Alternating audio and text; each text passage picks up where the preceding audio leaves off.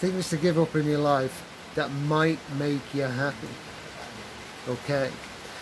Give up on your self-defeating self-talk. Okay, your internal conversation.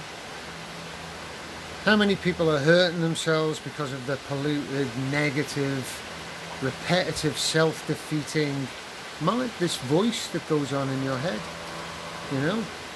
I am, and then whatever follows the I am, that's what you're creating for yourself. So if you feel like, you know, you're trying to manifest things and you're working towards this, you know, you're reading the books, you're doing the work, I'm, I'm doing this. But if it all starts at the very beginning with the thought of that you're not actually worthy for some reason of getting whatever it is that you have, then it's going to be this impossible block that you're putting in front of yourself all of the time to prevent yourself from succeeding. And you kind of have to ask yourself, well, why would you do that? Because you're putting all of this work in to succeed, to have ambition, to want to, you know, be more, to grow, to, you know, and yet I am not worthy or, you know, I'm fat or I'm not this or I'm not that. I mean, there's, you know, how, whatever you want to put after it to just block yourself.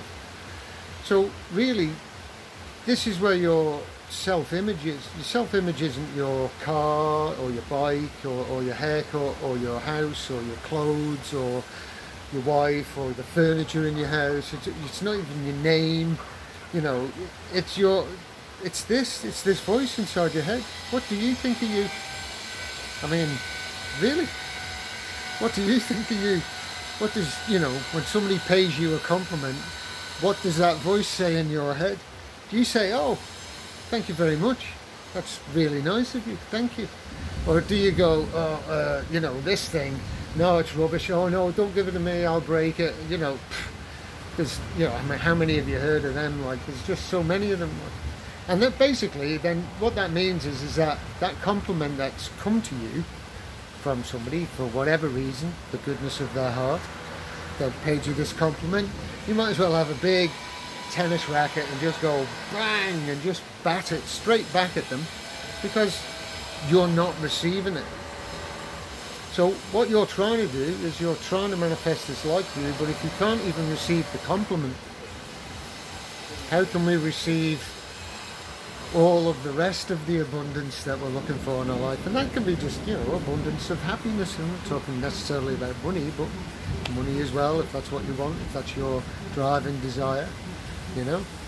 So, give up on telling yourself you're no good and get on the train of telling yourself you can.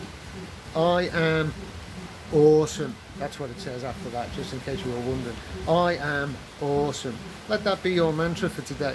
How many times can you say that to yourself before you actually start believing it? See more in yourself. You're special. So Eckhart Tolle said, the mind is a superb instrument if used rightly. Used wrongly, however, it becomes very, very destructive. So get a handle on this. Start seeing more in yourself. Start, you know, feeling your worth. You know, everybody's special, everybody. And everybody can be happy, everybody can be abundant. We just have to get into the energy of it, the flow of it. And it starts with seeing more in yourself. Remember, you're amazing, Dave said.